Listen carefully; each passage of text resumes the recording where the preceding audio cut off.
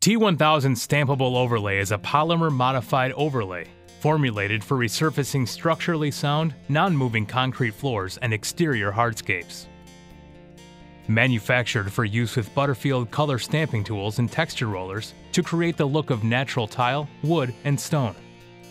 Once fully cured, T1000 creates a freeze, thaw-resistant surface suitable for pedestrian and automobile traffic.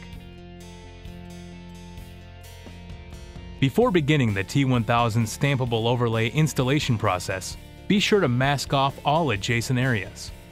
Make sure to use tape that will not damage the wall surfaces. In this application, duct tape was only used under the area where base trim will be installed, and blue masking tape was used elsewhere. When working with any decorative concrete product, always cast a job site mock-up prior to beginning the project. Make sure to use the proper safety gear when working with all Butterfield color products.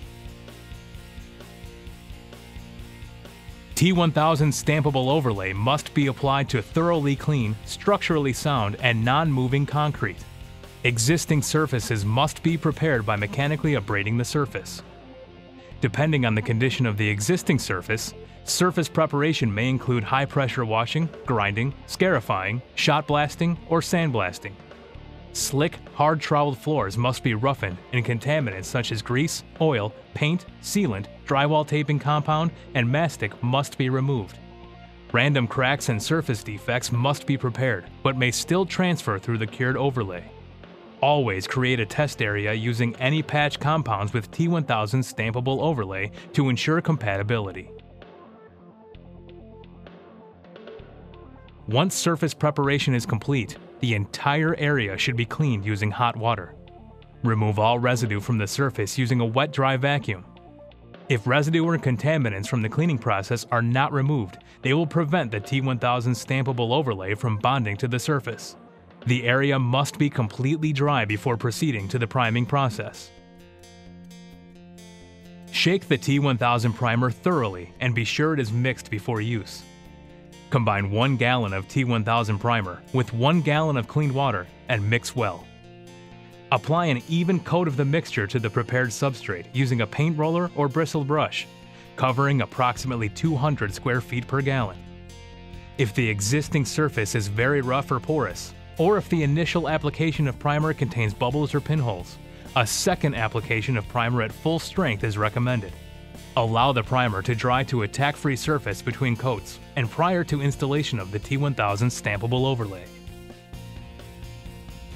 To form a border or to designate between pouring areas, a bulkhead is used. Here, a bulkhead was made using quarter-inch strips of lath, mounted with concrete screws to create a border.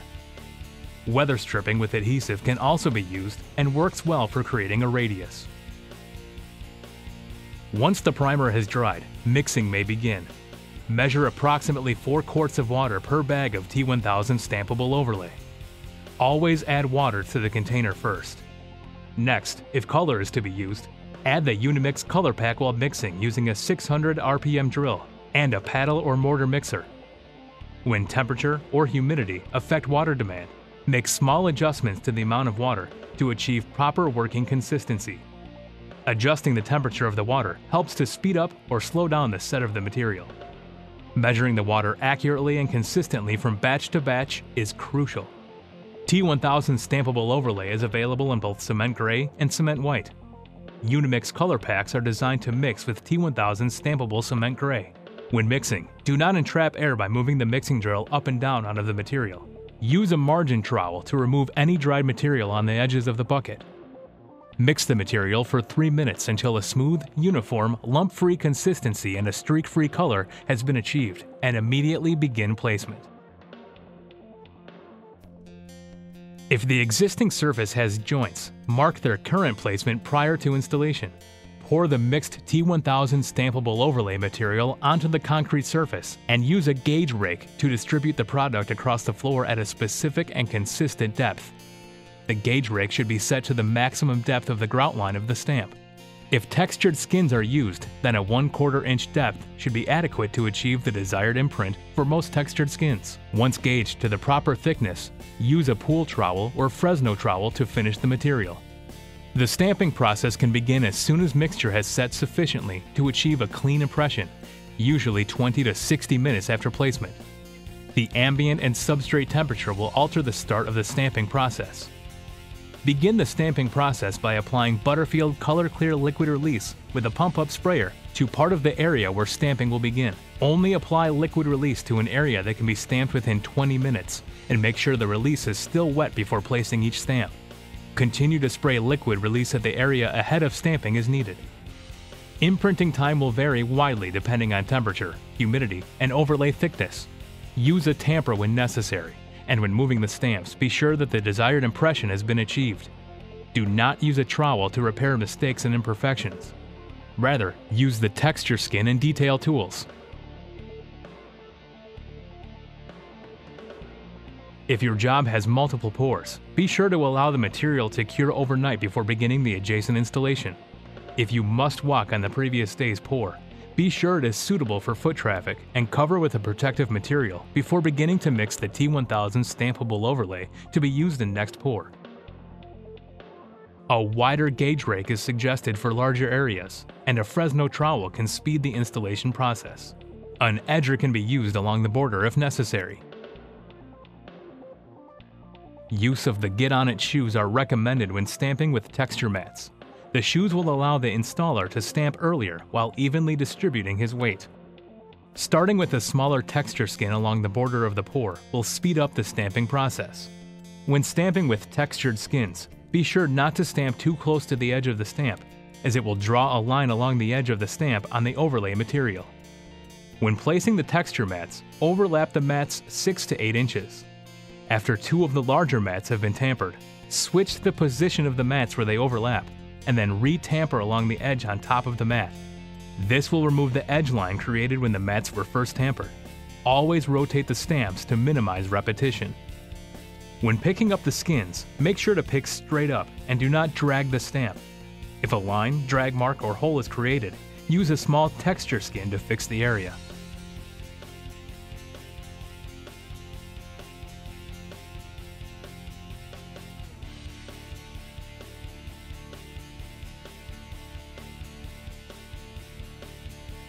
T1000 stampable overlay is self-curing, and curing time varies with temperature and humidity.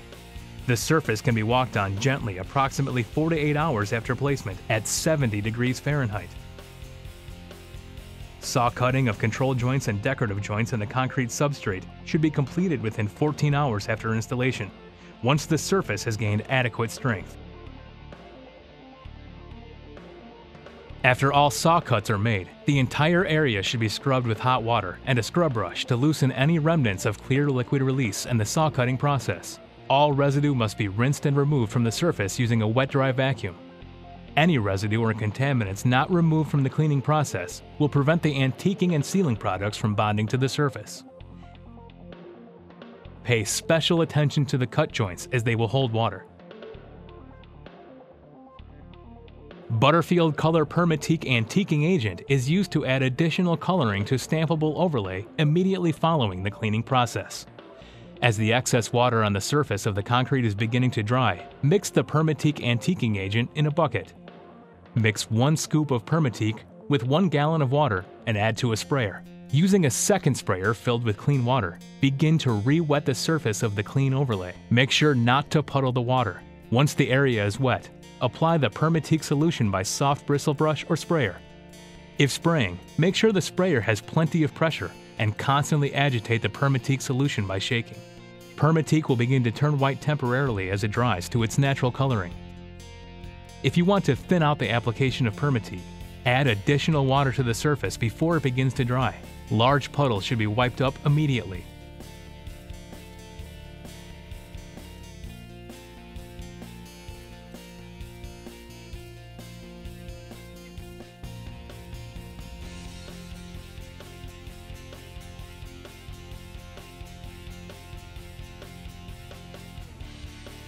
T1000 stampable overlay can also be colored with Elements Transparent Stain or Permacast Sierra Stain.